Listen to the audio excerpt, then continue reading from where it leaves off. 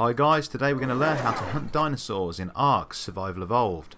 Whilst it is possible to fight dinosaurs with your axe, your pick, or maybe even just your fists, it's not the best idea, so I suggest you craft a spear. It's the first weapon you can unlock, and if you don't have the engram points to it, I strongly suggest that you level it first and then unlock the spear. You'll need wood, flint, and fibre. It's important that you build more than one spear, as unlike your axe or pick, it doesn't have a durability meter, yet has a random chance of breaking every time it's used. So at any point during the fight your spear could break. If you have more than one, you'll automatically start using the next one. So I suggest having at least two, I like to always have three on me. Next we need to decide what to hunt. Passive dinosaurs such as the Parasaur or the Phiomia won't fight back but they will run away meaning you'll have to give chase. The best option with these is to corner them in an area such as a cliff face.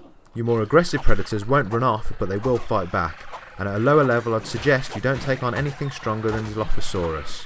When you've found the dinosaur you want to fight and you've either initiated the fight or cornered it, use the use button with your spear until the dinosaur's dead.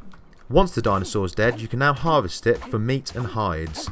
Use a pick if you would like to get more meat, or an axe if you would like to get more hides from the dinosaur.